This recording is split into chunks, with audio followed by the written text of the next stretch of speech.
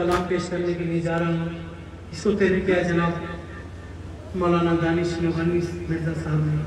समाज फरमाएँगे। चेगलुम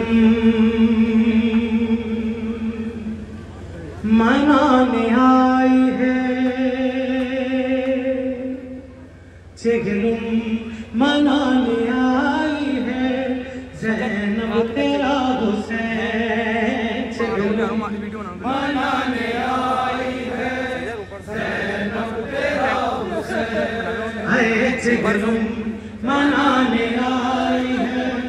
जैनब तेरा हुसैन मनाने आई है। जैनब तेरा सब मिलकर पुरसा दिया सरदारों। दिल से पुरसा दे उस बेकस दीदी के मसाई बात के सामने पेश कर रहा हूँ। अजादारों किसी बहन का अल्लाह सलामत रखे आप सब। आप सब लोगों को अल्लाह सलामत रखे। सबकी बहनों का पर्दा अल्लाह सलामत रखे। बीबी जैनब सलाम रहेगी चादर के सदके में सब बहनों का पर्दा सलामत रहेगा एक भाई की अपनी बहन से क्या मोहब्बत होती है? तो बहन खुद ही जान सकती है। एक बहन से ज़्यादा भाई को कोई मोहब्बत कर नहीं सकती। अजादारों किसी का कोई गरीब भाई भी मर जाता है ना किसी बहन का तो एक बहन कम से कम अपने भाई के घर में चालीस दिन तक तो रुकती है।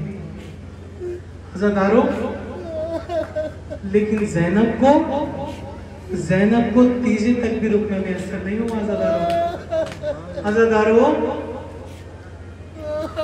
किसी के भाई का जब इंतकाल होता है तो बहन फ़ौरन दरवाजे पर आती है और जब मेहमान जाने लगते हैं तो हाथ जोड़ जोड़ के शुक्रिया अदा करती है, किसी के सर पे हाथ रख के, किसी के माथे का बोसा लेती है। शुक्रिया अदा करती है, कहती है, तुम मेरे भाई के जनाजे में आए, दुआएँ देकर विदा करती है अजादारों अजादारों उस बहन का शोहर भी जब जाने लगता है तो कहती है, तू चला जा, मैं अपने भाई के घर में कम से कम चालीस में तक रुकूँगी।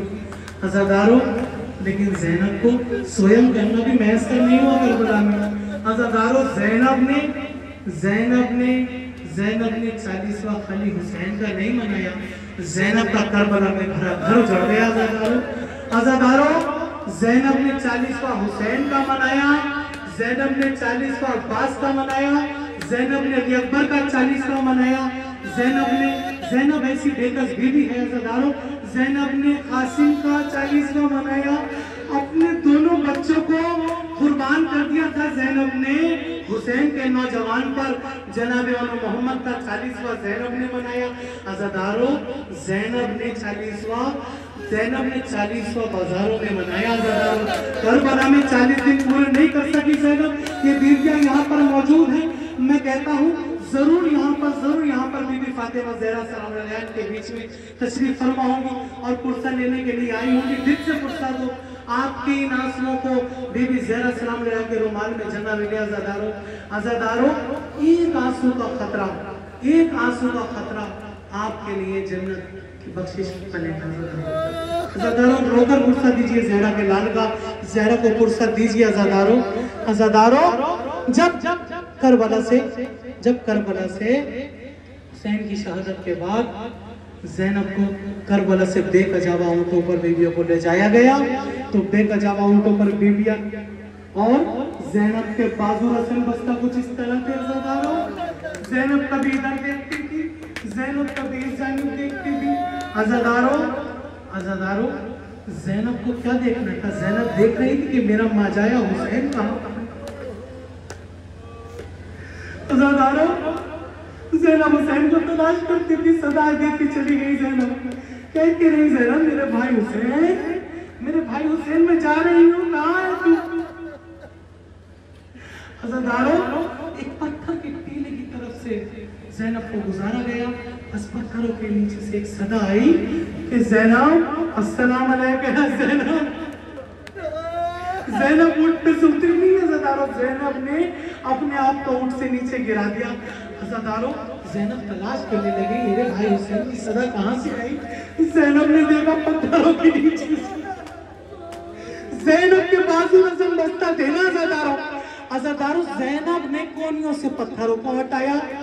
पत्थर हटा के जैनब क्या देखती है? कि मेरे मजाए हुसैन का नाशा पत्थरों के नीचे जैनब कहती